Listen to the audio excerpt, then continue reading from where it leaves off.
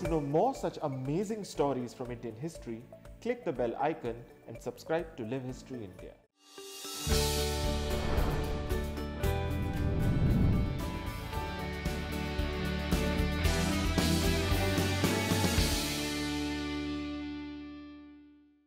Hello and welcome to our book club. I'm Mini Menon. When you go to Kashmir, apart from the outstanding natural beauty of the valley, you will also find the architecture over there, especially the old mosques and uh, shrines, extremely beautiful. And they also represent a very unique element, an architectural narrative that is uh, very, very localized, indigenous, but yet has influences from all over. In fact, many would argue that the monuments of Kashmir tell their own story and actually reflect history. And that's what we are going to look at as we zero in on this book, which covers the Islamic architecture, the, the, the religious Islamic architecture of Kashmir between the 14th and 18th century. Uh, this was a time when um, the, the Kashmiri Sultanate was around all the way to the Mughals and later briefly the Afghan sojourn there. Joining us today is uh, Hakim Sameer Hamdani, who's a design director with INTACH, and he has spent the last two decades actually tracking and tracing many of these monuments, which, by the way, are also in dire straits, very often uh, ignored, uh, victims of apathy. And really, a book like this is very important to put the spotlight on these. Uh, Sameer, thanks so much for joining us today.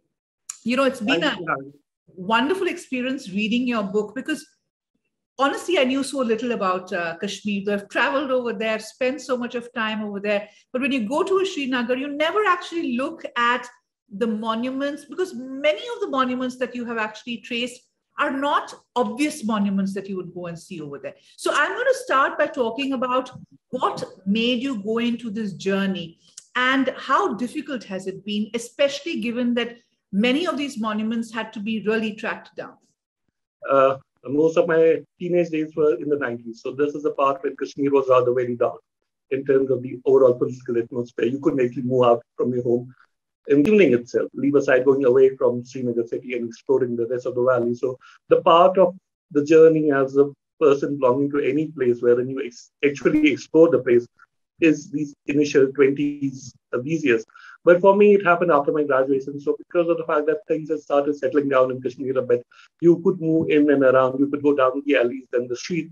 And as you move across the city, firstly, initially in the Srinagar city, there's a different feel you got because of the texture of these buildings. So unique in their own way and so different from whatever is happening in the rest of South Asia. So this is the part wherein you became interested in the past, you became interested in your own past. I mean, that is sort of reconnecting with your own roots, which somewhere down the course of growing up were sort of lost here and there.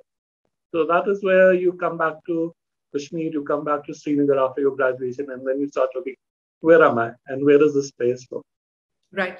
Let's look at Kashmir. You know, uh, there's this lovely image you have of the Jhelum riverfront uh, with some of the monuments marked out. Uh, Tell us uh, what makes the architecture, the indigenous architecture of this period between the 14th and uh, 18th century so unique uh, for a layperson?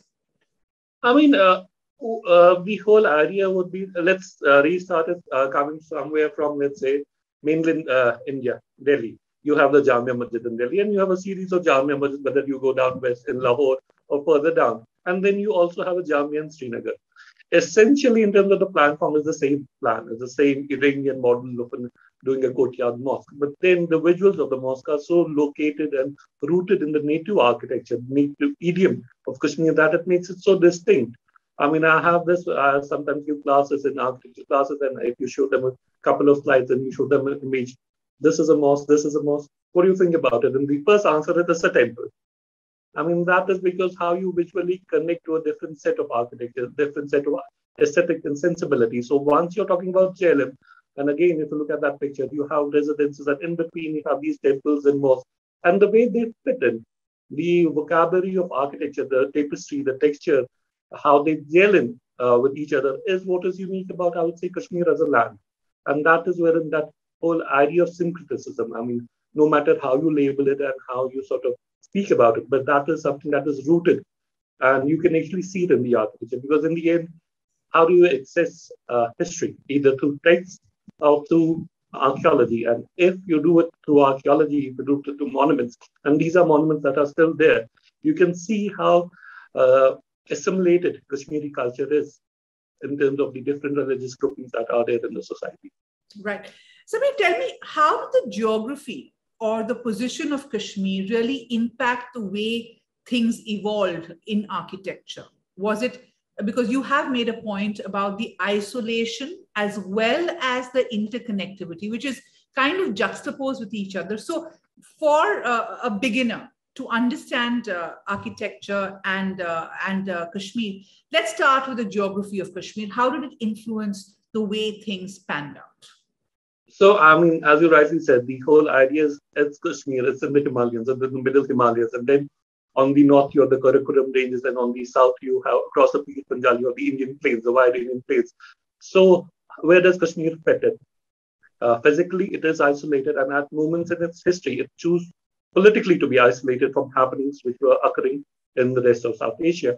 But then again, it has always been at that crossroad of trade, uh, linking it to a wider region, West Asia, China, etc. So initially, it was the salt route uh, Shahrai Namak. Then it became the Silk Route, the Shahrai Abresham. And these are connections which have made Kashmir a part of the wider South Asia. And at certain point, it has given Kashmir that uh, physical distance and also the in terms of time, wherein it can absorb an external influence. And then, I mean, this whole idea about Kashmir is it's been a part of the uh, wider empires, whether they are coming from down south or west It's been a part of the Kushan Empire, it's been a part of the Guptas. So there are influences that has taken from the mainland, but then within the isolation of these Himalayan uh, mountain fold, at points of its history, it has been able to sort of rework what to accept and what to reject. And that I think is most integral to what forms Kashmiri identity. It's nothing that is original. It came from Kashmir as such. It is basically different motifs, different elements that you have borrowed from different cultures. And then, in a way, you, there's this cultural melting pot wherein you are uh, giving birth to a new language of architecture, uh, which uh, includes elements from uh, regions as wide as Mathura or Gandhara or even Chinese and Tibetan elements. So that is what is unique about Kashmir. I would say not only architecture, but the overall culture. That at points in its history, it's been able to isolate itself from the surroundings, but then it has never been totally physically or culturally isolated from the wider South Asia or even the wider West Asia. What are the challenges when you look at uh, the study of architecture? Because, right, like you rightly pointed out, much of it is destroyed. You have to literally go hunting for the early period. And let's look at the period that you're speaking about, 14th to 18th century. What were the challenges uh, when you were actually tracing these?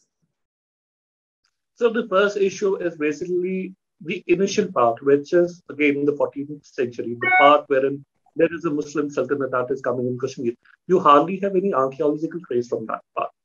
Secondly, you don't have anything which is in the vernacular preceding Muslim rule in Kashmir. I mean, something to do with the, the way temples were built by the Hindus or the Buddhist viharas, which are a part of the voca- uh, vernacular uh, vocabulary of the region. What you have are surviving monuments, remnants, mostly monumental in stone. So the initial Muslim architecture in Kashmir borrows more from the vernacular rather from the monumental. And again, it's rather important because if you're borrowing from monumental, you're, you're sort of competing in scale. But the initial Muslim society is sort of descaling itself. And again, this is the difference if you see what's happening in rest of what's happening in Delhi, the nearest neighbor to Kashmir. You see at the, the Qutub complex, the whole idea is about this new uh, politic, Muslim Sultanate, which is coming, and it's using scale to show its presence in the wider region. But in Kashmir, the early part of Muslim rule is something about descaling itself and sort of fitting it with the surrounding uh, the physical uh, landscape. And the most uh, easy medium to do is what wood, but then wood is perishable. So the question is, how do you recreate a history uh, of architecture and buildings when you hardly have much left? So to a certain extent, that's mostly dependent upon text and analyzing text with what was left. So we have a case for a mosque at uh, Pampur, which is known as the Mir Mosque, one of the earliest surviving examples of uh, Muslim religious architecture in the region. And then you compare it with what was existing, uh, maybe not within the boundaries of Kashmir itself.